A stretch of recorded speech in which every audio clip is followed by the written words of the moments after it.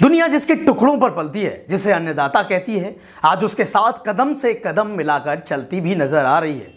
आज राठ में Mulayam Singh youth brigade के जिलाध्यक्ष दानिश खान को पुलिस ने नजरबंद कर लिया। उनका कहना था कि आज हम सब समाजवादी मिलकर किसानों के समर्थन में रैलियाँ निकालने वाले थे। जब पुलिस को इसकी जानकारी हुई तो आज रात से ही उनके घर पर पहरा बिठा दिया गया।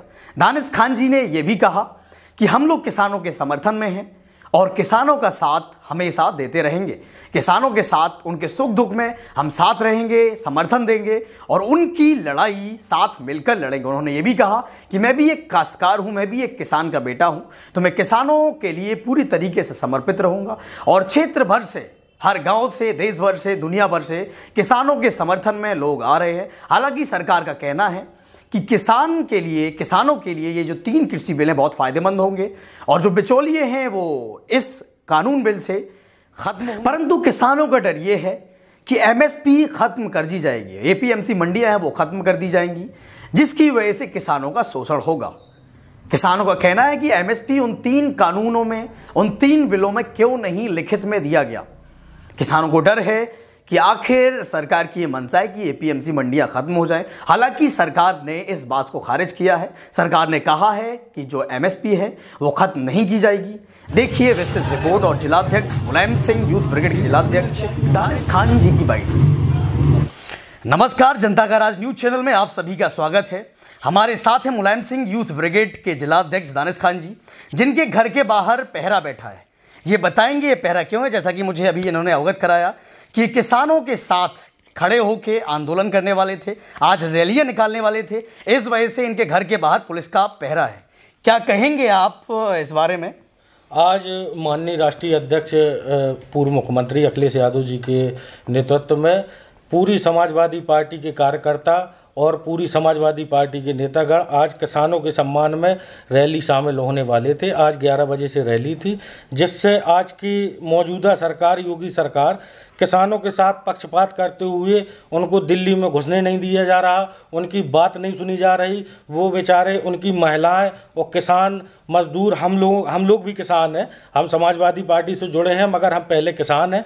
तो हम लोगों की बात नहीं सुनी जा रही। सरकार में उनके साथ उत्पीड़न हो रहा है। वो आधी रात को खाना बनाने के लिए, लेटने के लिए सर्दी में मजबूर हैं। हम उसके, किसानों के पक्ष में आज रैली निकालने वाले थे तो आज की मौजूदा सरकार, भाजपा सरकार ने आज हमारे घर पे सुबह छः बजे से रात में भी पुलिस रही सुबह छः बजे से पहरा बिठा दिया कि हम बाहर ना निकलें मगर हम समाजवादी पार्टी के कार्यकर्ता हैं हम न तो पुलिस से डरते हैं ना हम मुकदमों से डरते हैं। बिल्कुल एक बात और मुझे बताइएगा जैसे लोग कहते हैं या सरकार में बैठे लोग हैं भाजपा के जो लोग हैं वो कहते हैं ये समाजवादी पार्टी हर मुद्दे पर राजनीति करती है तो इस पर क्या कहना चाहेंगे हम मुद्दे नहीं ये सामाजिक ये सामाजिक मुद्दे हैं किसान हमारा अन्न उगाता है, किसान मेहनत करता है, अगर हम उनके साथ खड़े नहीं होंगे तो हम किसके साथ खड़े होंगे? सरकार जाति कर रही है, छात्रों के साथ, बेरोजगारों के साथ, किसानों के साथ तो हम, हमारा फ़र्ज़ बनता है कि हम गलत का साथ ना देते हुए उनके विरोध में खड़े होंगे। अगर वो गलत करेंगे तो समाजवादी पार्टी हमेशा उनके विरोध में खड़ी होगी। बिल्कुल, अब एक बात और बताइए, तीन कानून जो कृषि बिल लाई है सरकार, इसमें विरोध क्या है? इसमें विरोध यही है कि सर जो किसान है उनकी फ़सल को जो क्या नाम बिचौलिए हैं जो बीच के व्यापारी हैं वो कम रेट पे खरीद के ऊपर बड़े अच्छे दामों में बेच रहे हैं। किसानों को उनका मूल्य नहीं मिल रहा है। जो किसान मेहनत करता सरकार है, सरकार इन बिलों में यही कहा है कि जो मतलब बिचौलिए है उनको सरकार ये करिए बिचौलियों को हमने खत्म कर दिया है। और तो उस पर क्या कहेंगे? एमएसपी पे क्या कहेंगे? एमएसपी लागू करें ना। एमएसपी एमएसपी में किसानों का लाभ होगा उनको सही दर मिलेगी। एमएसपी लागू क्यों नहीं कर रहे हैं? हम कह रहे हैं तीनों बिल बना दिए। कोई दिक्कत मगर एमएसपी भी तो लागू कर दें। उस बिल में एमएसपी भी जोड़ दें तो उसमें किसानों का फ़ायदा होगा। उनकी जो मेहनत का उनको जो मेहनत है जो वो रात दिन इकट्ठा होकर रात दिन मेहनत करते हैं कम से कम उसका सही दर मूल्य तो उनको प्राप्त होगा। आज खाद के खाद के दाम देख लीजिए, बीज के दाम देख लीजिए, रातों को बेचारे पानी लगा रहे हैं, पानी के दाम देख लीजिए, लाइट के दाम देख लीजिए, कहीं से सरकार कोई मदद नहीं कर रही किसानों की। तो बिल्कुल, सरकार को इस बारे में सोचना होगा और किसान जो कि लड़ाई लड़ रहे हैं। ग्यारह दिनों से दिल्ली बॉर्डर पर बैठे हुए हैं, सर्दी झेल रहे हैं और पुलिस की सख्ती झेल रहे हैं। तो उनका जो किसानों का कहना है, या दानिश खान जी के, जो दानिश खान जी ने कहा कि एमएसपी आके सरकार क्यों नहीं, इन तीन कृषि कानूनों में एमएसपी को क्यों नहीं लागू कर रही है?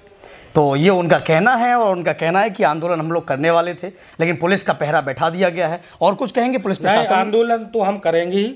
आंदोलन से हम पीछे हटने वाले नहीं हैं। चाहे पुलिस का पहरा चाहे जो बैठा दें वो हम आंदोलन करेंगे। समाजवादी पार्टी ना तो कभी किसी से डरती है ना हम पुलिस से डरेंगे ना हम मुकदमों से डरेंगे। हम आंदोलन करेंगे और हम किसानों के साथ हैं और मरते दम तक किसानों के साथ रहेंगे। चलिए हमसे बात करने के लिए आपका बहुत बहुत धन्यवाद। धन्यवाद।